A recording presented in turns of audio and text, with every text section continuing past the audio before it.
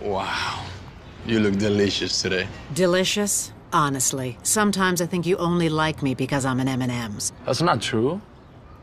Maybe what matters to me most is what's on the inside. I'm pure milk chocolate on the inside. And I love that about you. And here I thought you loved me for my brain. Is that made of chocolate too? Gosh, you're handsome.